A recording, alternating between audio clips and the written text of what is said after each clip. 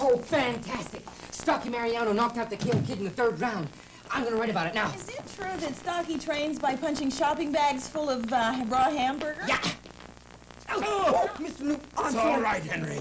A punch in the stomach is a change from reading this article you wrote on the football game. Listen, Hannigan took the ball at the 20-yard line and went down the field. He met five opposing players at the 10-yard line. He moved them aside and crossed the goal. How do you do it, Henry? I was close to the sidelines. How could you make Hannigan sound like the Maharishi conducting a session of transcendental meditation instead of a fullback who tore his way down the field? These men batter, they rip, they tear, they charge. Vigorous verbs, Henry. You remember what a verb is? It's a word that describes an action or a state of being. There are plenty of verbs here, but there's no action. Put those verbs to work. Hannigan raced down the field. He smashed five opposing players. He drove through them and hurled himself across the goal line. Now, Henry, if you cannot get some action into this Stocky Mariano story, you'd better start thinking of throwing in the towel, taking the count, and quitting the writing ring. Got the idea? Oh, I thought I was developing a good style, an adjective here, an adverb there, then one two punch. He's right, Henry. You really should consider using vigorous verbs. Like, instead of saying that Mr. Morton went through the door, you say he stormed through the door. You know? Who's the writer here? Hey, you the writer? Oh, I- I'm one of them. Uh, but actually, uh, Miss Newton's a much better writer than I am. You're Stocky Mariano, the new champion. Absolutely. See me fight tonight? Hmm? Oh, well, well, Miss Newton, Miss Newton, so... Henry did. Henry. Henry, kid. You the guy that writes the football stories? Hey, my manager reads them to me. Oh, yeah? Oh, they're not that great, you know, but... Yeah, you need more training. You got no, no style, no punch. That's just what we were talking about. Henry needs a little more power in his verbs. Yeah, yeah, and in the writing, too. Hey, I want to make sure you get my story right, see? You are going to write about me winning tonight, aren't you?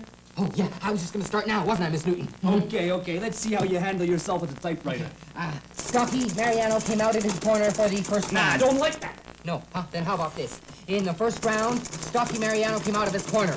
Hey, what are you trying to be, stupid or what? I go out of the corner like this.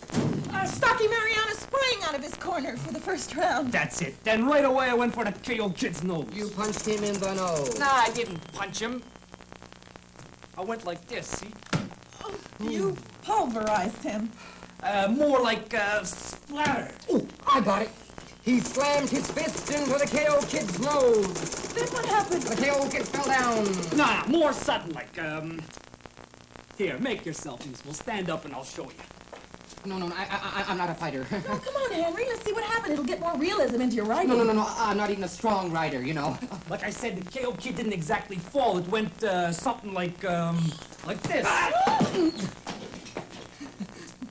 Down like a ton of bricks. Yeah, yeah, that's good.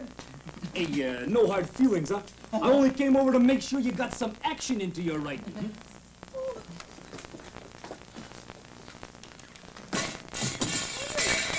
Are you all right, Henry? Are you? Um, Miss Newton, would you mind retiring to your neutral corner? Where is that story about the fight? Here it is, Mr. Morton. Stocky Mariano sprang out of his corner for the first round. He slammed his fist into the KO kid's nose. With one blow, Mariano smashed the champion to the floor like a ton of bricks. That's very good, Henry. Sprang, slammed, smashed. You've got a feeling for the fight game. I think I'm going to send you out on the next Mariano match. oh, no, no, no return match. All I wanted to go the distance. I only wanted to last three vigorous verbs with the champ, and I did.